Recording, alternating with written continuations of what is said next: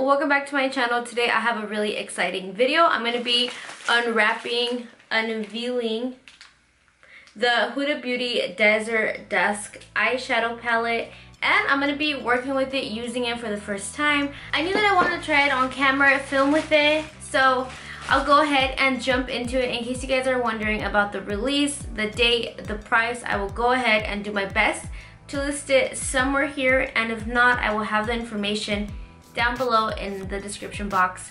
Huda Beauty, sometimes they'll release products, I want to say like one to two months after PR gets them. So I'm assuming maybe one month, maybe two, we shall see, hopefully soon. So I was a really big fan of her original palette, the first one, the Rose Gold palette. So I'm really excited for this one. I had a really good time with it. I know there was mixed reviews on that palette, but I really like mine. I even had mine like in the main palettes that I use. So I am excited to play with this. Let's take it out. Ooh. So we get a little flyer here with beautiful Huda herself. I think she's gorgeous. And back here, we get kind of like a layout of the shades. I'll go ahead and just show you guys that real quick. If you guys want like more an in-depth video that's not so first impressions, maybe later down the road, a month from now, that has swatches review, let me know. I'm not the greatest with swatches, but I could try. But I'm gonna do my best to use a lot of colors in here. It says here that there is matte shades, pressed pearls, duochrome toppers, and one pure glitter. So let's open this up. This is so pretty. Oh my God. I love her adornment here and her eyes look gorgeous. Her lenses and the makeup is really really beautiful. This is so pretty. Amazing job on the PR packaging the presentation. I'm assuming that oh my god there's sand in here. I find this so amusing oh I really like this Oh my god. Okay. So the presentation is super gorgeous. I love this. I really wish that companies would consider selling the PR packages because I think a lot of people would really want to buy them. We're all makeup obsessed. We're all makeup makeup junkies. I know I would for sure buy something like this. So getting into the palette, I'm assuming this is how the palette is going to come. If you order it, it's to come in this pretty purple packaging. I'll go ahead and show you guys real quick. If any of you guys are packaging freaks, I am. I'm a sucker for packaging. I bought the Moschino Sephora collection just for packaging. Oh, this is nice. So the Rose Gold palette, this is transparent, which I like and I don't like. I like because you can see all the colors, but I don't like because you can see how messy the palette is. Like after you use it a few times, you can see all the shadows and everything. So even though it has a little slide thingy, I still think this is really pretty. I would say this is definitely an upgrade in my opinion. This is gorgeous. I never really use these little papers because I always find that they like cut my shadow, but this is so pretty that I like it. I love her eyeshadow in this. Look at this.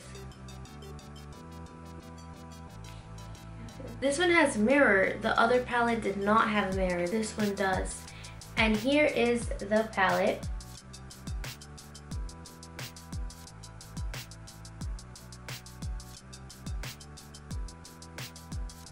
a lot of these right here look almost cool tone which is very interesting these on this side are cool toned and then on the other side i would say they're a little bit more of um warmer tones i don't see any repeats other than angelic so here is the rose gold palette and here is my palette as you guys can see it's a little dirty and you guys see all the junk right here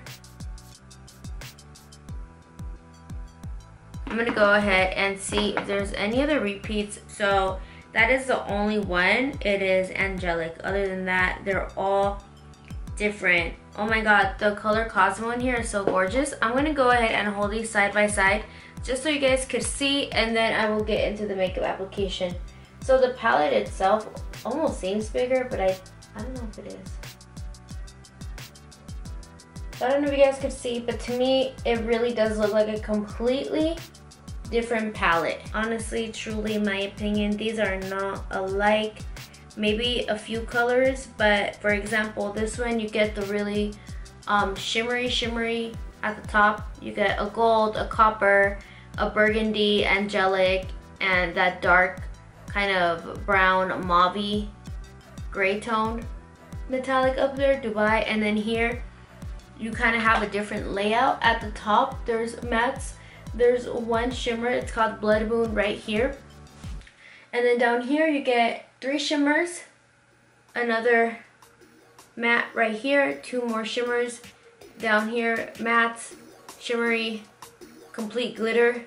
And then these two are shimmers actually, they're just not as glittery and chunky as the other one. So the layout is completely different and the colors, in my opinion, are pretty different. They're nothing really too similar. So I'm gonna just go ahead and jump right into it. I'm gonna prime my eyes with the Too Faced Shadow Insurance. And I actually had makeup on. I took it off, so my face is a little weird right now. I kind of have foundation left over, kind of don't. My eyebrows probably need a little retouching, but I just want to be safe and do my eyes first in case there is there is a lot of fallout. But I will say I never really experimented a lot of fallout with the rose gold palette, so I don't I'm not really expecting this one to have fallout, but we shall see. I'm gonna go ahead and get the color Desert Sand, which is right here.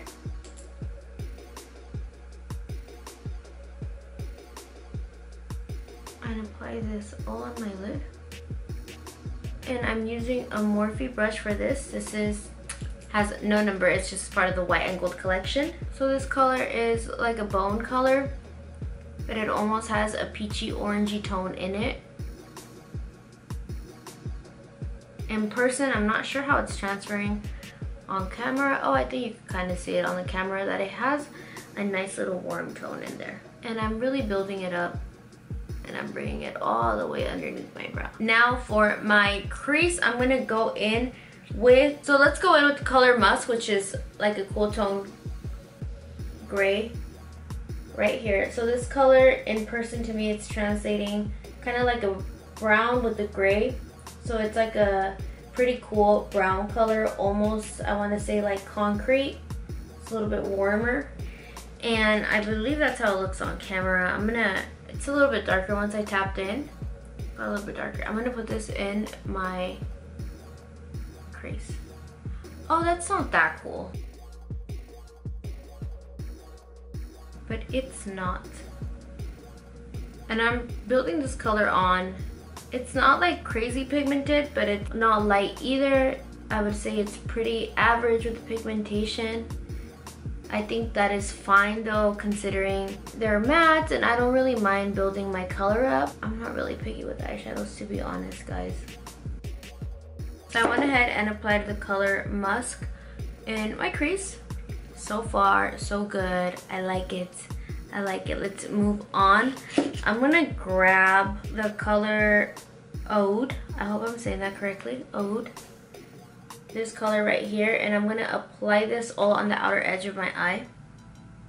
And I'm using a Moda brush for these are so cute and affordable. I believe they are in Walmart. This is a Moda brush and it is their crease brush and I'm going to be tapped. I tapped in there pretty good and I'm just going on the outer edge of my eye. I think I need a little bit more. Oh, this is nice. This has like a hint I'm sure you guys could see it of red in there. And I'm bringing it up just a little bit. And I like to kind of wing out my shadow.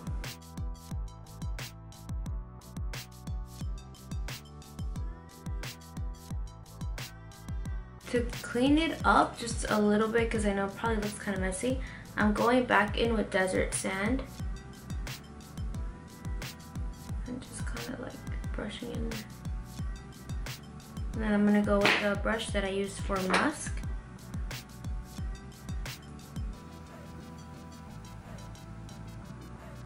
Okay, and I'm gonna add just a little bit more of this color.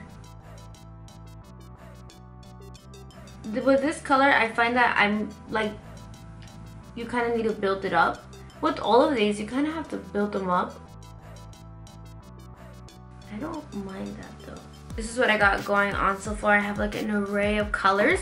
I'm gonna do one of my favorite things to do that I do probably a little bit too much. I'm gonna cut my crease. I'm gonna do a half cut crease. This is seriously like my favorite thing to do. I probably do this more than I should. It just looks good and it's easy to do. So I'm gonna go in. I'm using a synthetic brush and my Tarte Shape Tape. And I'm gonna try and just kind of cut a little bit. And the way that I like to do this, um, it's kind of just mapping out by seeing where I'm going and pretending like I'm seeing shadow there, if that makes sense. Because it might look a little bit awkward just with the concealer. And I'm using to be specific, a Morphe E19. I use that to cut the crease. So now I'm going to go in with a little eyeshadow brush this is a random little unicorn brush that I bought from eBay. I honestly think a matte would look really nice, like an all matte eye, but I do want to use different colors in this. So I'm gonna, oh wow, so Cosmo is legit like a glitter. I just like swatched it. Should I use that? I'll use that. I'm gonna go ahead and apply Nefertiti first on my lid and then I'm gonna go in with Cosmo, let's see. Nefertiti is this really light pretty cool. And if you guys are curious about kickback or anything, there's quite a little bit of kickback. These are the shadows I have been using. Oh, ooh. Damn, I like this. Oh, I gotta say that I really like this shimmer a lot. I really like Huda shimmers. Uh, they're like some of my favorites. And I'm using a brush. I'm pretty sure if I was to use my finger, it would be even more pop in or if I was to simply use it wet. I like it. Now I'm gonna go on top and I'm actually gonna use a synthetic brush and I'm gonna wet it. Where's my water bottle? Okay, so I'm gonna be using some of my precious Morphe spray. I wet the brush and I'm gonna go in and get Cosmo, which is the glitter. Oh, this is a straight up pressed glitter, so you just gotta tap. I digged in, be careful with that if you do end up getting this palette. Now I'm gonna go ahead and I'm gonna go in the inner, like the middle. So this is a legit glitter. You guys know, I don't know if you guys saw the Too Faced glitter palette. Those are like extreme shimmers, sort of like a glitter. I really like that formula by the way. This is like a straight up glitter. I like the idea that she just put one in here. Like she gave you she gave you that option. Even one, two, max three, I would really like. I don't think I would have a full palette full of glitters just because that seems like a little bit tedious maybe. I don't know. But I like this idea because I feel like this is very usable if that makes sense.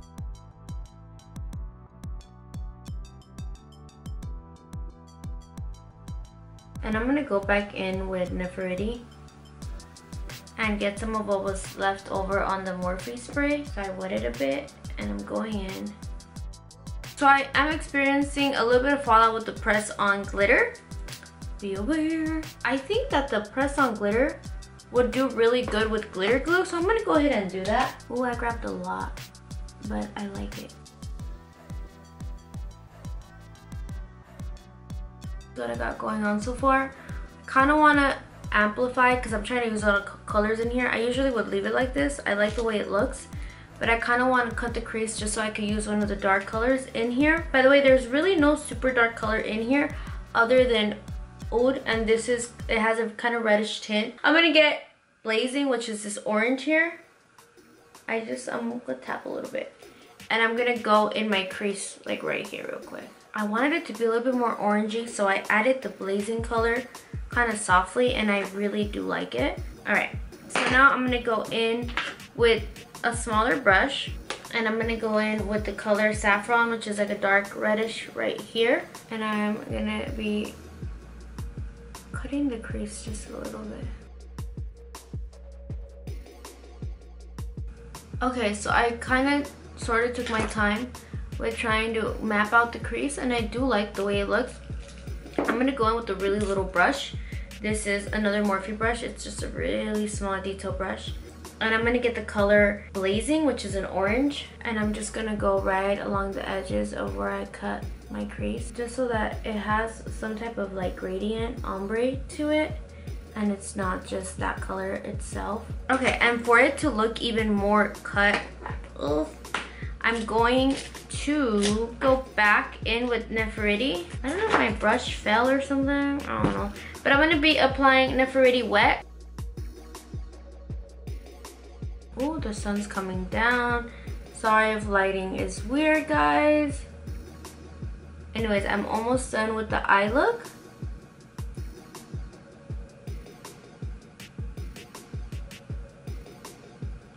The glitter did fade a little bit on this eye more than I wanted to, so I'm gonna go ahead and try and add it back in. All right, to save a little bit of time, a little bit of light, I'm gonna go ahead do my face makeup real quick, and then I will be back to finish the eyes.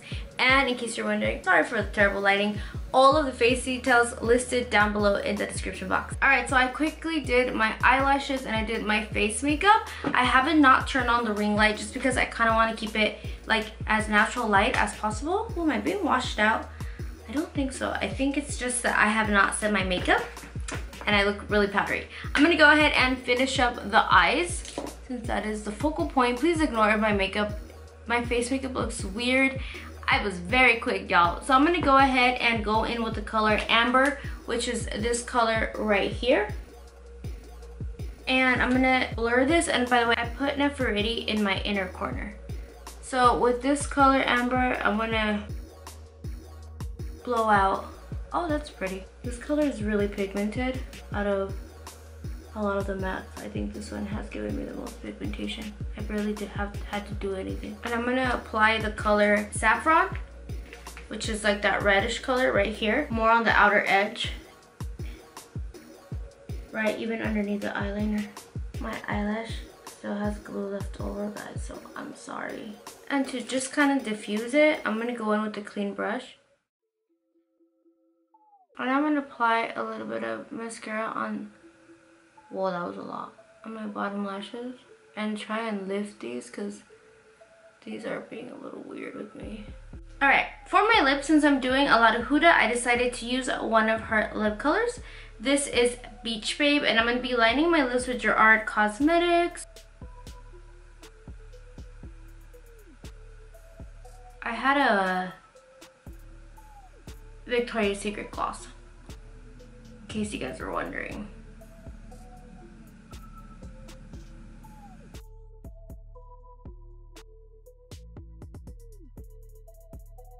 Alright, so I think I finally got my lighting correct and I am all done with my makeup. I'm going to go ahead and get a little bit close so that you guys could see the eyes. Mainly the eyeshadow because my eyeliner and my lashes got just a little messy. But this is the completed eye look. in general, I really liked this palette. I really enjoyed it. I actually feel like I'm to fall in love with it. I feel like I'm to use it a lot. Knock on wood, I don't want to jinx myself. But I ended up using the rose gold way more than I expected. I feel like I feel like I have a lot of makeup. I do have a lot of makeup.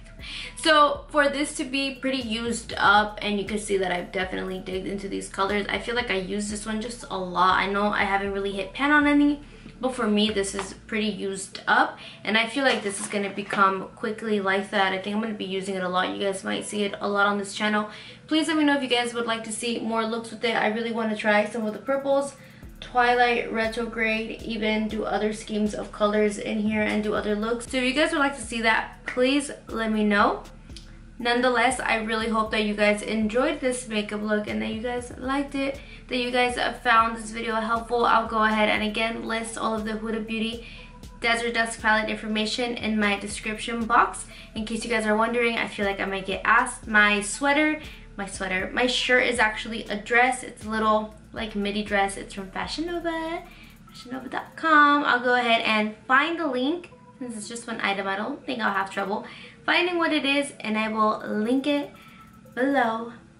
The gloss I was using in the beginning of my video was Victoria's Secret, just the glosses they sell. I'll go ahead and list all the information for all my face products, even though my face products look a little whack, down below in the description box.